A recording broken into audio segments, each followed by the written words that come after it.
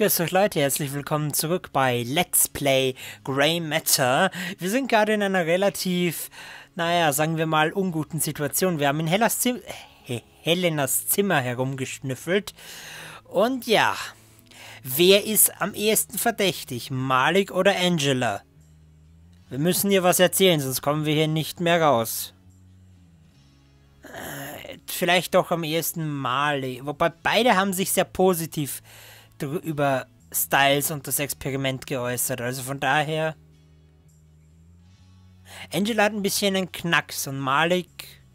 Gut, gegen Malik würde nicht viel sprechen. Also vielleicht Angela. Angela kannte Dr. Styles schon vor dem Experiment. Ich habe sie gefragt und sie hat gesagt, dass sie ihn mal in der Nähe des Campus auf der Straße gesehen hat. Nach dem Unfall. Aber das kann nicht stimmen. Styles geht nicht auf den Campus. Er verlässt ja nicht mal das Haus. Er schämt sich wegen seines Gesichts. Vielleicht wusste sie einfach nicht mehr genau, wann sie ihn gesehen hat. Vielleicht. Auf jeden Fall sind das ganz schön schwere Anschuldigungen. Wenn du mich fragst, ist sie eine Einzelgängerin und viel zu verschlossen, als dass sie in einer Verschwörung mit drin stecken könnte. Auch wieder wahr. Also, aber gerade so Einzelgänger sind doch für so Zaubersachen und so auch relativ. Und sie hat so auf echter Magie bestanden und so. Oh, es spricht doch schon relativ viel gegen sie. Malik ist die wissenschaftliche Hilfskraft von Styles größtem Feind auf dem Campus, einem Kerl namens Linkweller. Ich habe das Gefühl, dass er von nichts Halt machen würde, um Dr. Styles zu ruinieren. Ja? Das ist auf jeden Fall verdächtig. Um nicht zu sagen, ganz schön unverschämt. In meinen Augen aber trotzdem nicht so heftig. Ja, wobei, ich glaube kaum, dass man das machen würde für jemanden. Oder? Ich weiß es nicht. Hat jetzt irgendwer eigentlich eine Idee, was wir tun können? Äh, wir sind hier noch nicht fertig. Ich würde sagen, wir gehen mal hoch in den zweiten Stock. Vielleicht gibt es da ja was. Außerdem im zweiten Stock müsste Charles sein Zimmer haben in Apartment oder Apartment halt. Raum 204. Das müsste hier sein. Können wir uns zumindest anschauen. Also, an, ja, anschauen. Vielleicht können wir klopfen. Charles? Keiner da. Ja, okay. Gut, hier, das haben wir schon angeschaut, glaube ich. Ist irgendwas mit den Zimmernummern? Ah, die können wir auch... Oder? Können wir nicht anschauen. Hä? Hä? Ja doch, irgendwas können wir da anschauen. Zimmer 204. Hier wohnt Charles. Okay. Und das hier 206, sagt die da auch was?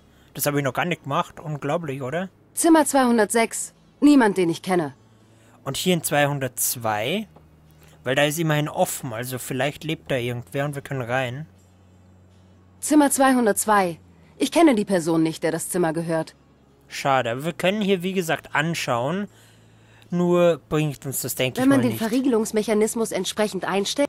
Das weiß ich. Das ist die Schloss... Aber wir können damit nichts tun. Wir können auch hier, glaube ich, keinen Zaubertrick oder so anwenden, weil... Moment, 100... Achso, das ist Helenas Schlüssel. Ah, okay. Arsch. Egal. Gibt's hier eigentlich noch was? Oh, können wir jetzt mit dem reden? Dann ist das Symbol nämlich so komisch. Das war bis jetzt nicht so, oder? Hi, ich wollte fragen, ob du mich vielleicht in Zimmer 204 lassen würdest. Und warum sollte ich das tun? Hm. Was ist die beste Antwort? Er hat ein Buch, ich liefere Kekse auch, ich bin seine Freundin. Bin seine Freundin ist vielleicht die intelligenteste Variante? Ich bin Charles Freundin. Ich dachte, ich könnte ihn vielleicht überraschen. Ha, du bist diese Woche schon das dritte Mädchen, das behauptet, seine Freundin zu sein. Wie wäre es, wenn ich dich in mein Zimmer lasse? Dann kannst du mich überraschen. Ähm, das klingt wirklich verlockend, aber nein, danke. Okay, das habe ich nicht bedacht, dass der sehr beliebt ist und das öfter passieren könnte. Das mit dem Buch hört sich irgendwie nicht so intelligent an, deswegen Kekse. Äh, ich liefere Kekse aus. Ach ja? Ich sehe aber keine Kekse. Sie sind ziemlich klein. ich finde, diese Kekse da sehen groß genug aus. Gib mir doch mal eine Kostprobe. Du bist ein Schwein. Du hast doch damit angefangen. Okay. Das ist jetzt wirklich ein bisschen seltsam gewesen. Er hat sich von mir ein Buch ausgeliehen und ich brauche es dringend wieder. Wegen so einer Kleinigkeit willst du, dass ich gegen meine Prinzipien verstoße? Ha, das kannst du vergessen. Ja gut, die Frage ist jetzt aber, was tun? Hä? Moment, hä? Das schreit nach einem kleinen netten Trick. Aber welchen soll ich nehmen? Oh, äh, ein Trick. Äh, hä, das ist eine gute Frage.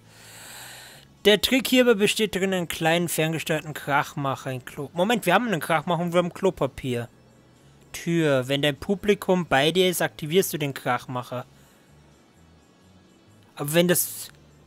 Au, der schaut danach. Der macht auf. Oh, wir lassen den aufmachen, dann manipulieren wir vielleicht das Schloss, dass es nicht zufällt, weil wir haben ja direkt daneben ein Schloss, wo wir geschaut haben, was das nicht zufallen kann. Ideal, oder? Der Trick bringt in dieser Situation nichts. Leck mich. Oh Gott.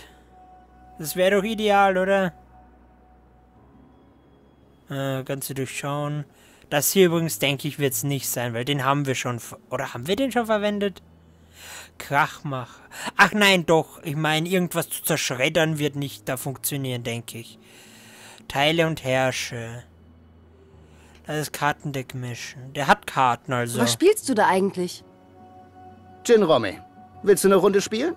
Fünf Pfund pro Partie. Und dass du mir ja nicht die Universitätsleitung vollholst, wenn du verlierst. Gin Romy ist nicht schlecht, aber ich wüsste da ein schnelleres Spiel. Es sei denn, du kannst nur Gin Romy spielen. Ich schlage dich in jedem Kartenspiel, das jemals erfunden wurde, Süße. Wie heißt das Spiel? Teile und Herrsche. Das habe ich immer mit meinem Bruder gespielt. Er dachte, er sei klüger als ich und würde mich in allem schlagen. Wenn mein Bruder und ich Streit hatten, hat meine Mom die Teile- und Herrsche-Strategie angewandt. Ging es zum Beispiel darum, wer die größere Portion Pommes bekommt, musste mein Bruder die Pommes in zwei Portionen aufteilen und ich musste dann entscheiden, welchen Teller ich nehme. Das ist doch doof. Ich würde einfach auf einen Teller mehr tun, aber es so aussehen lassen, als wäre weniger drauf. Das hat er versucht, aber ich habe ihn immer dabei ertappt. Entweder war dein Bruder ein Trottel oder du lügst. Wollen wir wetten? Ich setze 10 Pfund für jede Runde. Wenn ich es schaffe, dir 30 Pfund abzuknöpfen, habe ich gewonnen. Einverstanden. Okay, teile ein paar Karten aus. Vorderseite nach oben. Fünf bis zwölf Karten. Wie viele genau, kannst du entscheiden. Äh, hä? Hätte ich mir durchlesen sollen, wie dieser Trick geht? Hä, hä. Ist es jetzt euer Ernst? Äh, ich fang an oder du fangst an? Okay, das ist irgendwie Arsch. Keine Ahnung, fang ich an? Nein, ich weiß nicht, was ist, also er fangt an. Okay, ich wähle dir jetzt die Karte aus, von der ich denke, dass sie am Ende übrig bleiben wird. Ich weiß nicht, was das ab... Nein, ich... Ich will hier... Ich will hier das Buch sehen. Shit. Ähm... Ich weiß nicht, worum es geht. Welche übrig bleiben wird. Keine Ahnung. Ich sag das Ass. Ich weiß es nicht. Wähle zwei Karten aus. Okay. Ich Warum hat sich die andere gedreht? Ich verstehe es nicht ganz. Oh, ich verstehe. Es wäre, ich sage am Anfang, welche ich denke übrig bleibt. Dann kann er zwei Karten markieren und ich muss eine davon auswählen. Okay. Okay, aber müsste dann nicht die Anzahl der Karten eine Rolle spielen? Jetzt sind es sechs Karten. Wir haben angefangen. Nein, er hat angefangen zu markieren. Okay, das merke ich mir mal. Ich darf zwei auswählen, da wähle ich auf jeden Fall zwei aus, wo keine dabei ist, die er zerstören könnte. Jetzt muss ich natürlich die auswählen, ist logisch. Jetzt Jetzt wähle ich zwei Karten aus. Ja, ich glaube, wir haben schon gewonnen, weil jetzt muss es so sein. Er wählt zwei aus und ich nehme die und die bleibt übrig. Und Dankeschön. Okay. Das heißt, bei sechs Karten soll er anfangen. Okay. Nochmal. Wir haben schon zehn Pfund gewonnen. Alles klar. Wie viel sind das jetzt? 1, 2, 3, 4, 5, 6, 7, 8, 9, 10, 11. Es sind mehr. Lassen wir ihn anfangen oder soll ich anfangen? Ich fange mal an. Macht, ich mach das mal so. Vielleicht hat es mit der Menge, vielleicht mit gerade, ungerade, vielleicht aber na, mit etwas anderem kann sowas eigentlich nicht zusammenhängen. Ich nehme mal wieder das Ass, das ist leicht zu markieren. So. Dann wähle ich jetzt zwei Karten aus, am besten zwei irgendwelche. So, und jetzt wird er wahrscheinlich das Ass und noch eine auswählen. Genau. Jetzt nehme ich die hier. Jetzt wähle ich wieder zwei aus, die, wo keine von denen das Ass ist, weil wenn ich das Ass auswähle, bin ich ziemlich doof. Ah, mal schauen, ob das funktioniert mit so Kartensachen bin ich eigentlich relativ gut. Aber, naja. Ich bin, ich bin gerade in Sachen von Zählen, was jetzt abgeht, wenn es um Zahlen geht, schlecht. Aber so reine Logikrätsel könnten funktionieren. Und das ist der Sieg für uns. Wunderbar. Wir, er nimmt die und die und wir nehmen die drei und Dankeschön und das war's. Wunderbar. So. Diesmal sind es 10, okay. Ich würde sagen, wir fangen wieder an, weil das sind... Wobei, lass mal denken. Bei 6 haben wir... Haben, wir haben beide gewonnen. Bei 6 hat er angefangen, bei 11 wir. Okay. Wenn das jetzt denkt... Wenn ich jetzt denke, dass es bei geraden er anfangen soll und bei ungeraden wir was ich nicht weiß, aber ich könnte es mir denken, dann würde ich sagen, soll er wieder anfangen. Ich nehme diesmal natürlich wieder, hier gibt es kein Herz, das, äh, ich nehme den Herzbuben. Dankeschön. So. Das ist klar, dann wähle ich jetzt wieder zwei aus und schauen wir mal, ob das jetzt so funktioniert. Achso, nein. Ja. Ich darf nur niemals auf den Herzbuben klicken, dann bin ich eigentlich schon am Gewinnen, falls ich mich jetzt nicht irgendwie verschätzt habe. Und es hängt je mehr Karten, dass zum Beispiel zwischen 6 und oder 5 und 9 muss man ihn anfangen lassen und alles drüber muss ich anfangen. Aber es schaut momentan ganz gut aus. Und das ist wieder der Sieg für uns und damit haben wir unsere 30 Pfund. Dankeschön. Verdammt, du hast mich um den Gewinner der ganzen Woche gebracht. Hast du's bar? Du hast die Karten doch irgendwie manipuliert. Dumm nur, dass du nicht weißt, wie. Ich bitte zur Kasse. Wolltest du vorher nicht irgendwas? Ja, ich wollte, dass du mich in Charles Zimmer lässt. Deal? Deal. es ist schön, mit dir Geschäfte zu machen. Ja, ich bin begeistert. Also ich finde das cool. das war nicht besonders schwer, aber es war recht lustig. Das sollte ich tatsächlich mal mit irgendjemandem ausprobieren. Mal schauen, ob die draufkommen. Es wäre wahrscheinlich nicht so langweilig gewesen mit Denken, wenn ich das gelesen hätte. So. Ist jetzt noch was, oder? Ja, nee. Mit dir sind wir fertig.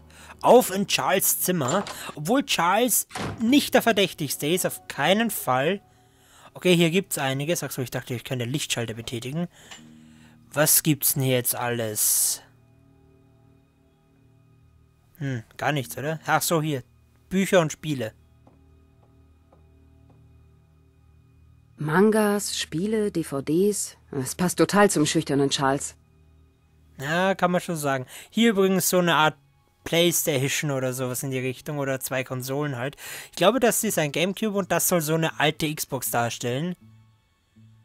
Okay, was Schublade? Okay, schauen wir mal überall hin, wo ich was ich finden kann. Da ist nichts Interessantes drin.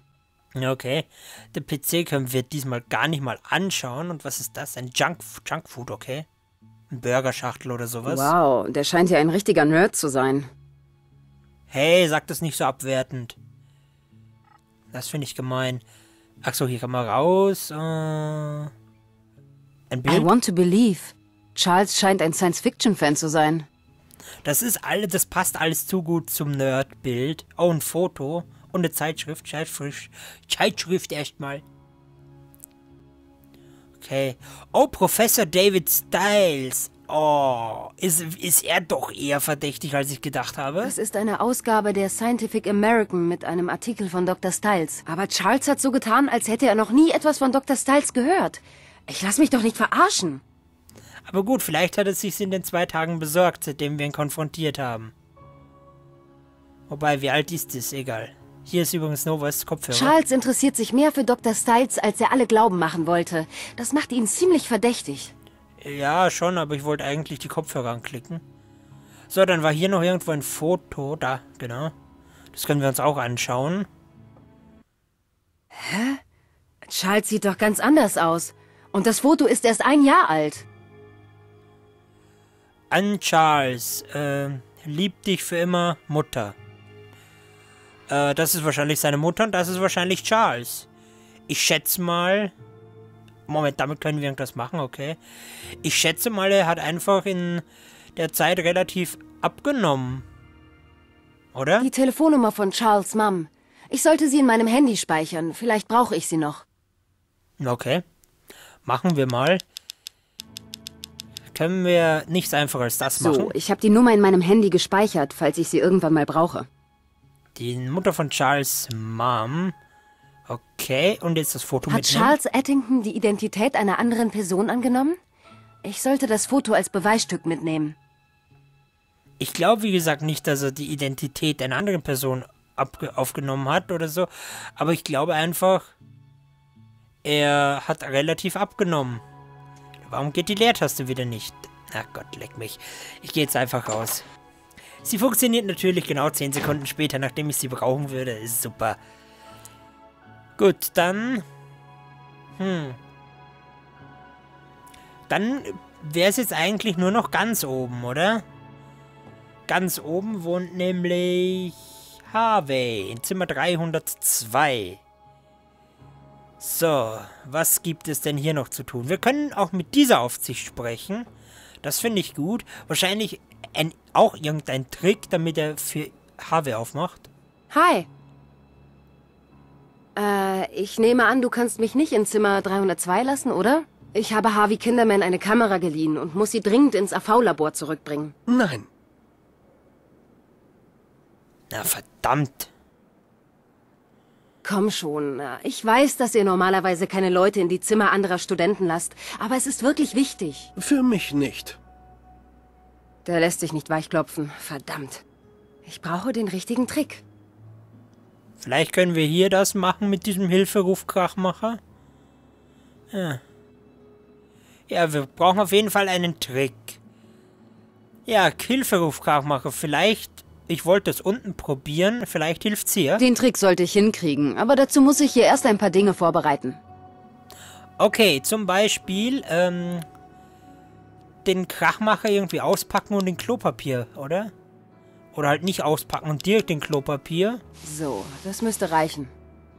Ich habe den Krachmacher in Klopapier gewickelt. So wird ihn niemand sehen. Wunderbar. Wo ist der jetzt? Hier. Charles Foto. Schauen wir uns das nochmal an. Das habe ich in Charles Zimmer gefunden. Okay, nichts Interessantes. So, ich würde sagen, wo wohnt der? 302, okay. Bei den anderen können wir da eh nichts machen. Also 302, da können wir ihn vielleicht da unten jetzt durchschupfen oder... Ich glaube zwar kaum, dass das wirklich da drunter durchpasst, aber... Aber bitte. So, und jetzt? Ah, Ich glaube nicht, dass ich so irgendwie weiterkomme. Moment, habe ich das jetzt nicht gemacht? Oder doch? Ich glaube nicht. Okay, muss ich das jetzt noch mit irgendwas kombinieren? Mit der Papierfee? Mit den zwei Sachen komme ich auf keinen grünen Zweig. Okay, ich dachte gerade. Ähm. Vielleicht können wir ihn jetzt austricksen. Den Trick sollte ich hinkriegen, aber das. Okay, ich muss noch Dinge vorbereiten. Die Sache ist, was für Dinge? Es hat jetzt irgendwas mit dem zu tun. Die Frage ist, mit was kann ich das kombinieren? Mit dem Zauberbuch? Nein, wahrscheinlich ja nicht. Schau mal in das Zauberbuch, vielleicht steht da, was man präparieren muss. Ähm, äh, Klopapier wickeln und unter eine Türchen zuschieben. Wenn ein Publikum bei dir ist, aktivierst du den Krachmacher mit der Fernbedienung. Das hört sich dann so an, als ob sich irgendjemand hinter der Tür befinden würde. Aber das Publikum, okay, alles klar. Aber das bedeutet ja, ich sollte da jetzt fertig sein, oder? Ich glaube nicht, dass ich so irgendwie weiterkomme. Okay. Hä?